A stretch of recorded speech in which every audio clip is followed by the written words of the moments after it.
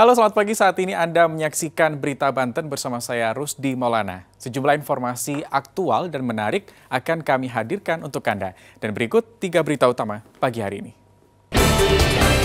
Korupsi pembangunan pasar Asda 2 Cilegon ditetapkan tersangka.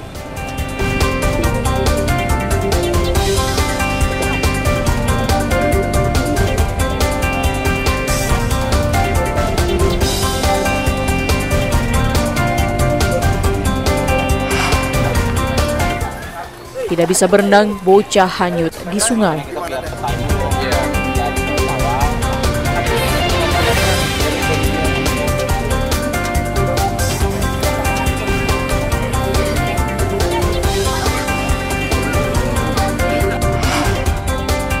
Tabrak kakek tua, pelaku tabrak lari dihakimi masa.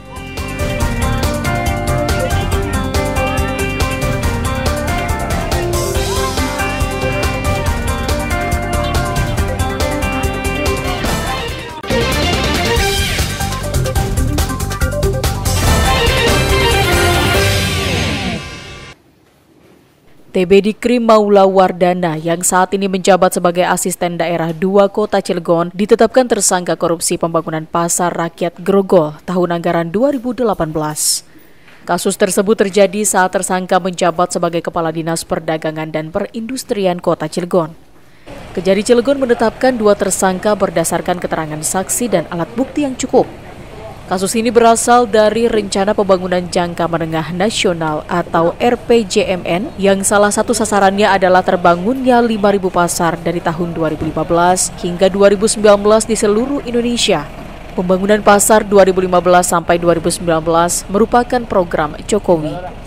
Pemkot mendapatkan anggaran 2 miliar rupiah untuk membangun pasar rakyat di daerah Grogol, Kota Cilegon. Namun untuk mendapatkan alokasi DAK fisik penugasan tersebut, tersangka Dikri yang saat itu menjabat sebagai Kadis Perindah Kota Cilegon mengajukan pengusulan alokasi dana kepada Kementerian Perdagangan RI tanpa ada studi kelayakan.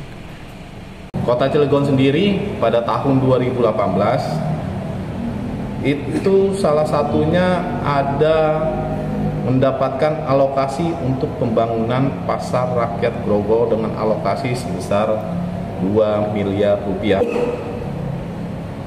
Di mana untuk mendapatkan alokasi dak fisik penugasan tersebut tersangka TDM dalam jabatannya selaku Kepala Dinas Perdagangan dan Perindustrian telah mengajukan proses perencanaan permohonan pengusulan alokasi dana kepada Kementerian Perdagangan tanpa adanya studi kelayakan dan tidak sesuai dengan ketentuan teknis pembangunan pasar rakyat kerugian yang ditaksir oleh penyidik adalah sebesar 966.707.011 rupiah.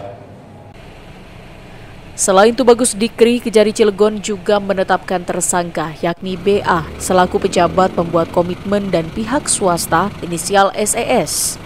Ketiga tersangka akan ditahan selama 20 hari di rutan kelas 2 Aserang. Hal ini dilakukan dalam rangka untuk mempermudah penyidikan lanjutan oleh Kejari Cilegon. Ariel Maranus dan Ganis Bungsu melaporkan dari kota Cilegon.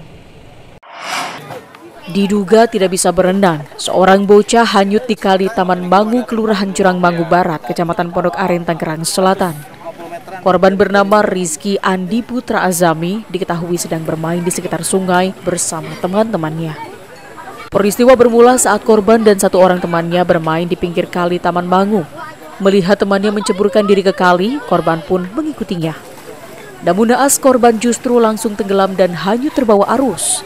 Teman korban yang berusaha menolong tidak bisa berbuat banyak hingga naik ke permukaan dan meminta pertolongan kepada warga sekitar. Tim SAR gabungan pun langsung dikerahkan untuk mencari korban dengan menggunakan perahu karet. Informasi dari eh, LKP eh, korban uh, tadinya berenang dengan dua orang.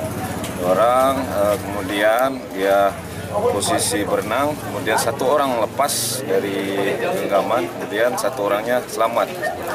Tapi yang satu korban ini hanyut begitu saja.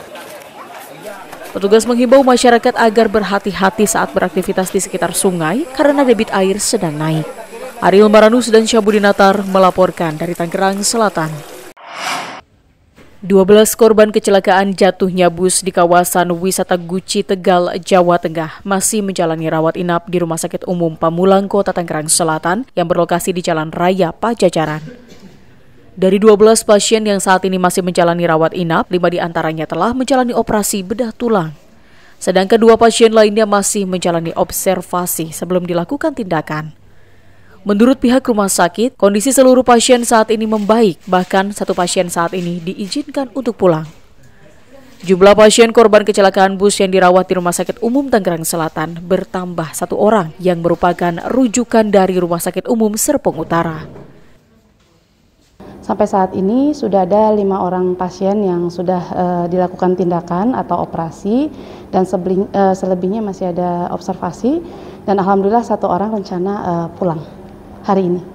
Nah, untuk uh, perkembangannya Bu, uh, bagi pasien-pasien lainnya itu apakah cenderung membaik atau seperti apa? Oh ya, uh, cenderung semua pasien insya Allah uh, stabil, tetap uh, dalam pengawasan uh, dokter spesialis kami. Kecelakaan yang terjadi pada hari Minggu kemarin terjadi di objek wisata Guci Tegal, Jawa Tengah. Dua penumpang meninggal dunia, sementara 23 penumpang mengalami luka berat. Ariel Maranus dan Syabudin Atar melaporkan dari Tangerang Selatan. Jasa Raharja memberikan santunan kepada ahli waris dua korban kecelakaan bus yang terjadi di Guci, Tegal, Jawa Tengah. Santunan diberikan kepada keluarga Maja bin Sitem dan Ibin Mukorobin di kediamannya masing-masing di kota Tangerang Selatan. Wali Kota Tangerang Selatan juga ikut mendampingi dan berharap bantuan tersebut bisa digunakan sebaik-baiknya. Wali kota juga membantah informasi penyebab jatuhnya bus akibat rem tangan yang dimainkan oleh anak kecil. Hal ini berdasarkan hasil penyelidikan yang telah dilakukan oleh pihak kepolisian. Jadi penjelasan dari Kapolres itu tidak ada anak kecil yang melepaskan rem tangan. Ada anak kecil di situ tapi dipangku sama ibunya kok. Itu saya jelas uh, mendapatkan penjelasan dari Pak Kapolres. Jadi uh, masih dalam penyelidikan Polres apa yang secara teknis apa yang menyebabkan apakah kelalaian manusia human error atau kelalaian teknis ini yang masih dalam penyelidikan Pak Kapolres tapi yang pasti tidak ada anak kecil yang melepaskan ini. Jasa Raharja memberikan santunan kepada ahli waris kedua korban meninggal dunia masing-masing sekitar 50 juta rupiah dan untuk korban luka sebesar 20 juta rupiah. Bahwa bagi ahli waris penumpang yang meninggal dunia itu mendapatkan santunan sebesar 50 juta Pak. Jadi bagi penumpang yang mengalami kecelakaan dan kemudian meninggal dunia, bagi ahli warisnya mendapatkan santunan 50 juta Pak. Dan bagi penumpang yang luka-luka, penumpang angkutan umum yang luka-luka mendapatkan santunan luka-luka Pak, eh, santunan eh, biaya perawatan di rumah sakit sebesar maksimal 20 juta Pak. Sementara itu, hingga kini masih terdapat dua korban kritis yang menjalani perawatan di Rumah Sakit Umum Susilo Selawi Tegal dan puluhan korban lainnya menjalani perawatan di dua rumah sakit Kota Tangerang Selatan. Ariel Maranus dan Syabudin Atar melaporkan dari Tangerang Selatan.